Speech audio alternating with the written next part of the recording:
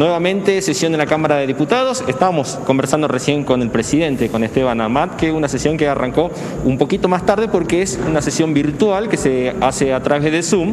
Y hoy hubo una caída a nivel mundial en Zoom, por lo tanto arrancó Ah, unos minutos más tarde, pero sin embargo se está desarrollando con normalidad la sesión en la jornada de hoy, en donde se está por tratar un proyecto para declarar el 2021 como el año del fallecimiento del general Martín Miguel de Güemes, eh, proyecto del diputado Amat. Bueno, cuéntenos eh, más detalles de lo que es este proyecto. No, es el, el año 2021, el año del general Martín Miguel de Güemes, el bicentenario. Son los 200 años eh, donde se, se declara, y también a nivel nacional también lo declara la Cámara de Diputados de la Nación, ¿no?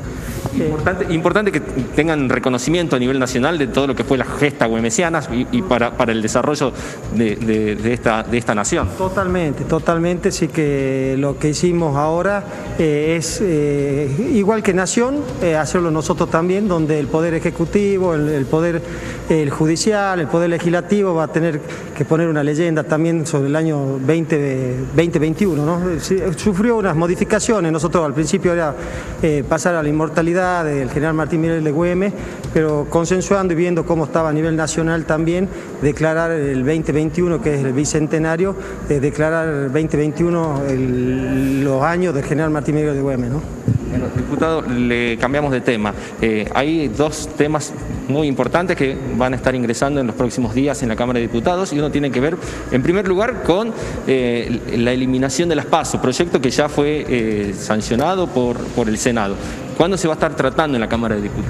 Sí, es la suspensión de las pasos, ¿no? no es la eliminación, es suspensión por el tema de la pandemia, eh, se suspenden las pasos, eh, el tema está muy difícil, este, estuvimos conversando con el Ejecutivo, estuvimos conversando de todos los partidos, el tema económico, el tema de la salud, cómo está, eh, por eso es que todos, la mayoría estamos de acuerdo en la suspensión de las pasos por, por el año que viene y eso estaría entrando el martes de la semana que viene, se lo estaría tratando aquí en la Cámara de, Diputados.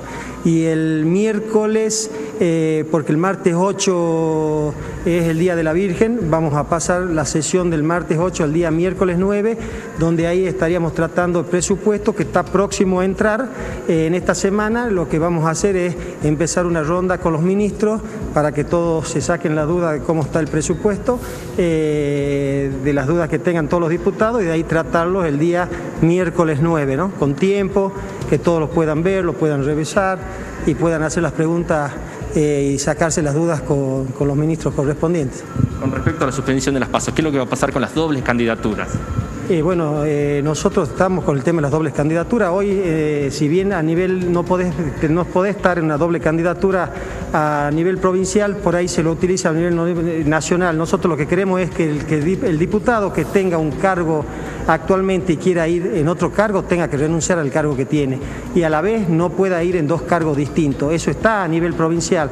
Lo que pasa es que se lo utiliza eh, al diputado provincial cuando quiere ir a un cargo nacional, lo puede hacer. Lo que nosotros estamos tratando es que a través de una ley provincial que el que eh, esté ocupando un cargo provincial no se pueda candidatear como a ningún cargo nacional salvo que renuncie a su cargo, ¿no? Y si ya tiene un cargo nacional, ¿puede, puede presentarse también un cargo provincial? Viceversa, es, eh, lo estamos haciendo también que el que tenga un cargo nacional ocupando tenga que renunciar a su cargo nacional para ocupar el cargo provincial, de las dos formas. ¿Hay consenso en diputados para que se pueda llevar adelante esto? Totalmente, hay consenso en diputados y en Senado, entre los dos lados.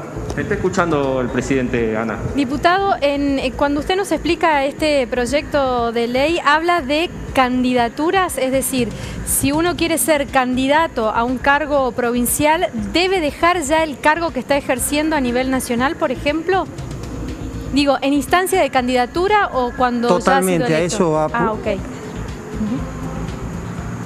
No, no, no, no, no, a instancia de candidatura, cuando ya ha sido electo no tiene sentido. Un, eh, yo como diputado provincial eh, quiero ser candidato a diputado nacional, tengo que renunciar a mi candidatura porque me quedan dos años, salvo que tenga vencimiento eh, en, el, en el año que En están las la elecciones, no habría ningún problema, pero si a mí me están quedando Exactamente, si a mí me están quedando eh, dos años y me estoy, eli- estoy eligiendo otro cargo por dos años, tengo que renunciar antes de candidatearme a, a ese cargo. Eso es para darle, dar credibilidad y dar transparencia. Nosotros no podemos eh, estar candidateándonos a otro cargo cuando la gente nos ha elegido por cuatro años, salvo que dejemos ese cargo para que se pueda elegir y que la gente elija ese cargo o entre el suplente, ¿no?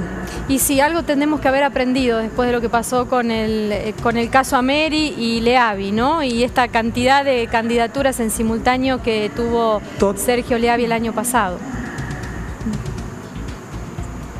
Totalmente. Nuestro gobernador, Gustavo Sainz, fue muy claro cuando hablamos. Nosotros tenemos que buscar a través de la Cámara de Diputados la transparencia y lo que el pueblo quiere y lo que el pueblo necesita. Y lo que el pueblo quiere y necesita de, la política que, que, está siempre en el tapete por malas cosas, mostrar buenas cosas, mostrar transparencia, mostrar lo que la gente quiere.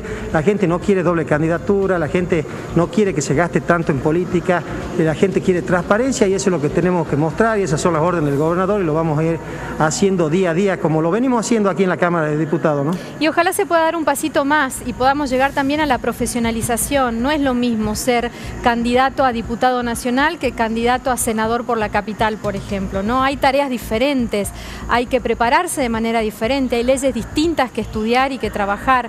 Entonces ese sería un pasito más como para que la política se vaya cada vez haciendo más profesional y eso también va a impactar en la imagen que los ciudadanos queremos de esta herramienta democrática, ¿no? Sí, sí, eso, eso está en cada uno de los candidatos, prepararse para ocupar el cargo y estar a la altura de la circunstancia en cada uno de los cargos que la, que la gente hace que cada uno ocupe. ¿no? Eh, no, no, no, estoy muy de acuerdo con el tema del voto calificado. Yo creo que eh, hay gente que por ahí no está eh, calificada eh, con, estudios o facultades, pero puede responder plenamente eh, con, la vida que ha llevado y las necesidades que, ellos ven que tienen cada uno de sus departamentos, de sus municipios.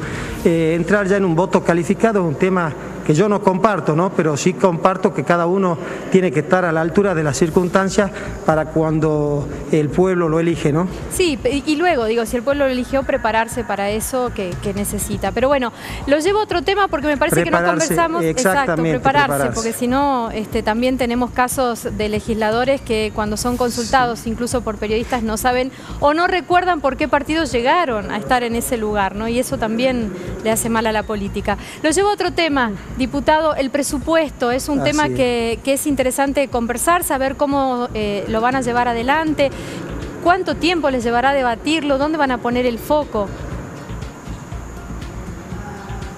No, yo creo que no va a llevar mucho tiempo debatirlo porque esta semana va a entrar y, nos vamos a poner a la altura de la circunstancia con cada uno de los ministros de cada una de las áreas a través de Zoom con todos los diputados para que se saquen las dudas, puedan preguntar y puedan interiorizarse de qué está compuesta cada área y cuáles son las dudas que tienen sobre cada punto del presupuesto. Tenemos toda la semana esta, la que viene y la otra para que los diputados se pongan eh, al día con el tema del presupuesto y de ahí por supuesto que va a ser eh, una sesión larga, comenzaremos a la mañana y estaremos toda la tarde eh, debatiendo los puntos que, que algunos estén de acuerdo y otros que no y tratando de buscar terminar el día con el presupuesto aprobado, pero siempre y cuando mostrando a todos los diputados y sacar, que se saquen cada uno de las dudas con cada ministro del área que ha conformado el presupuesto. ¿no? está casi todo, la mayor, mayormente está todo volcado al tema de salud, eh, que es lo primordial que, que estamos necesitando. ¿no? Y obras públicas, imagino, como la construcción, como elemento motorizador de la economía. También, sí, sí, sí, pero, pero eh, totalmente, totalmente. Diputado, eh, ¿se llamará extraordinarias este año en este contexto tan complejo que seguimos viviendo por la pandemia, digo, por la cuestión de salud, pero también por la economía que necesita eh, que se esté atento a cada condición que se va poniendo desde el Ejecutivo? ¿Será que se va a llamar extraordinarias? Y yo creo que sí, ten en cuenta que bueno, hoy en día estamos eh, permanentemente, los diputados, vamos, ahora hemos hecho una prórroga de las ordinarias eh, que utilizaremos todo diciembre hasta el día que sea necesario eh, estar y después estamos todos dispuestos en cualquier momento por cualquier necesidad que surja a, estar todos presentes, ¿no? En cualquier, si nos llaman en enero, nos llaman en febrero, nos llaman en marzo, yo creo que vamos a estar todos a disposición del Ejecutivo por cualquier necesidad o cualquier ley que, el Ejecutivo necesite para el funcionamiento, ¿no? Hoy día estamos todos abocados abocado a lo que necesita el Ejecutivo para poder funcionar a favor de, de la gente, ¿no? Muy bien, diputado, muchísimas gracias por atendernos en la jornada de hoy. Será hasta otro encuentro. No, no muchísimas gracias a ustedes como siempre.